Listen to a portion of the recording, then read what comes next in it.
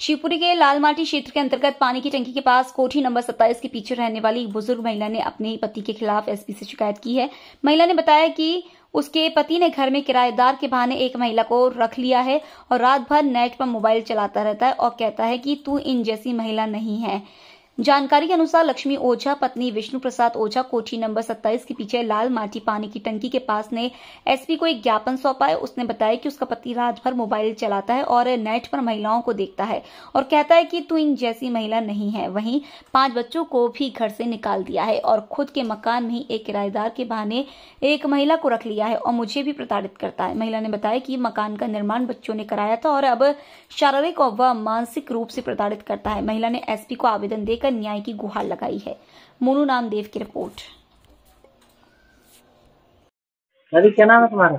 लक्ष्मी कहाँ से आए? लाल मट्टी से। क्या उम्र होगी आपकी? उम्र मेरी है पचास पचास पचास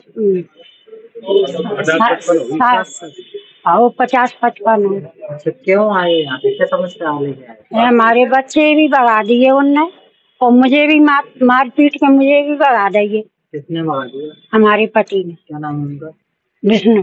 क्यों भगाया मेरे से जो कहता है दूसरी औरतों की और वो ऐसा करता है कि सारी रात जे हम्म, वो चलता नहीं जे हम्म, क्या कहते हैं नेट चलते तो सारी सारी रात उनको देखता है ऐसे ही से काम मेरे साथ करता है।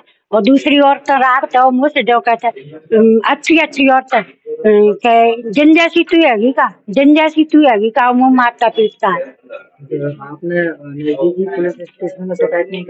शिकायत करी? है उनने सुनी नहीं है। हमने महीना भर पहले भी करी नहीं सुनी।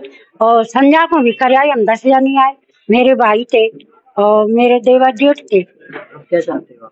हम जो चाहते हैं अब हम के हमको मकान मिला मिले। मेरे बच्चे रहे मैं रहूँ उनको बढ़ाया आप बंद करा।